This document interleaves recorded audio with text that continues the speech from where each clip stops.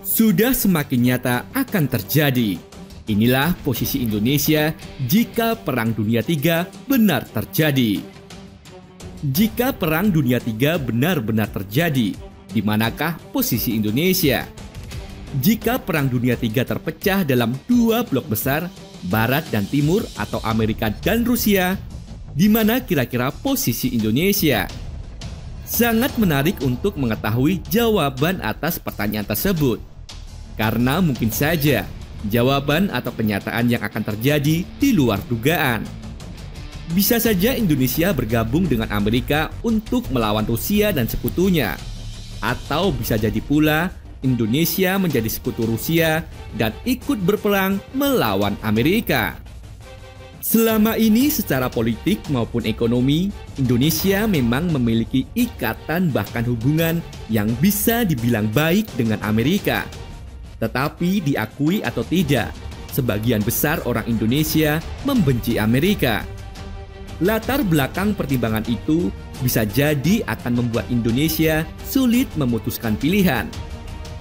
Jika Perang Dunia III pecah, pemerintah Indonesia bisa saja menyatakan tidak mendukung blok barat ataupun blok timur. Namun, ketika kondisi perang itu benar-benar pecah, akan memaksa Indonesia untuk ikut masuk arena. Karena wilayah Indonesia dari Samudra Pasifik hingga Samudra Hindia akan menjadi medan pertempuran tentara Australia, India, Pakistan, Malaysia, Singapura, dan juga Thailand yang merupakan sekutu Amerika dalam menghadapi perlawanan sekutu Rusia seperti Vietnam, Iran, dan juga Korea Utara. Karenanya ketika Perang Dunia III pecah dan pertempuran berkecamuk di sekeliling wilayah Indonesia, maka mau tak mau Indonesia harus ikut terjun ke medan peperangan. Bahkan kalaupun tidak, sebagian besar wilayah Indonesia akan terkena dampak langsung dari perang yang sedang terjadi. Sebelum melangkah lebih jauh, mari kita lihat posisi negara-negara dunia ketiga berikut untuk mengira-ira langkah dan posisi Indonesia selanjutnya.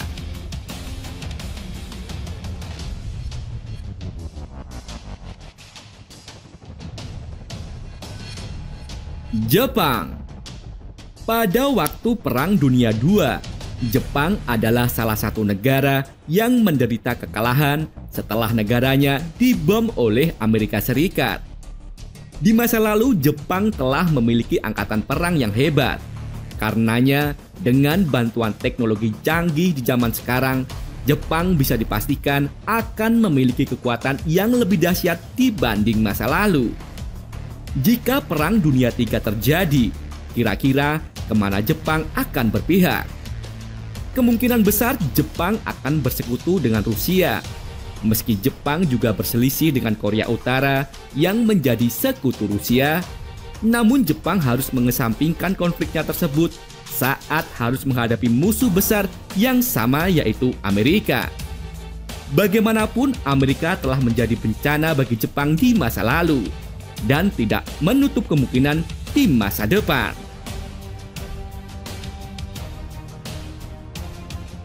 China saat ini, China telah menjadi negara yang besar sekaligus kuat. Dengan jumlah penduduk yang luar biasa banyak, China mampu membangun kekuatan ekonomi yang bahkan membuat Amerika khawatir. Kenyataannya dengan kekuatan ekonomi dan sumber daya yang dimilikinya, dunia memandang China sebagai penerus Amerika Serikat di masa depan. Cina pun tampaknya memang berambisi menjadi negara adidaya yang akan menggantikan Amerika. Karenanya, jika Perang Dunia III pecah dan Amerika berhadapan dengan Rusia, kemungkinan besar Cina akan berpihak pada Rusia. Pertama, karena Cina memiliki ideologi yang sama dengan Rusia. Dan kedua, karena dendam masa lalu Cina terhadap Amerika.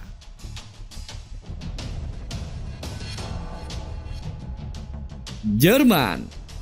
Sama seperti Jepang, Jerman adalah salah satu negara yang mengalami kekalahan saat Perang Dunia II.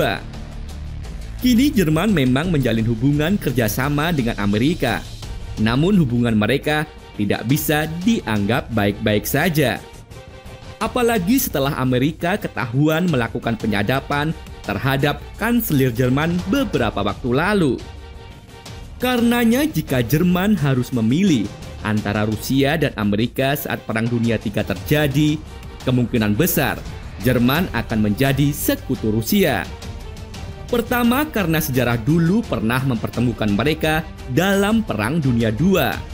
Dan kedua, karena dendam masa lalu.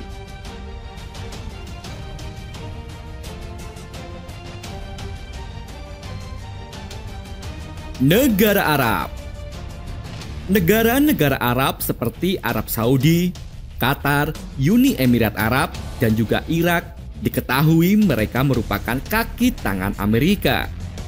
Karenanya jika Amerika harus berhadapan dengan Rusia, kemungkinan negara-negara tersebut akan bersekutu dengan Amerika. Meski begitu, tidak semua negara Arab akan bergabung dengan Amerika. Negara-negara Arab seperti Libya, Mesir, dan juga Suriah bisa dibilang merupakan korban Amerika. Karenanya, hampir bisa dipastikan mereka akan bergabung dengan Rusia.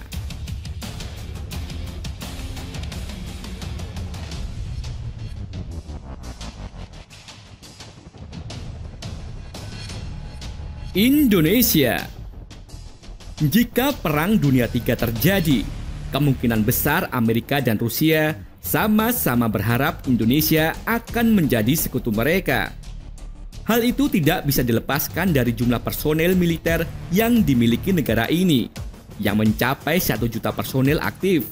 Jika personel TNI dan Polri digabungkan, maka Indonesia akan menyumbang 5 hingga 10% kekuatan di medan perang. Pertanyaannya, manakah yang akan dipilih Indonesia untuk bersekutu?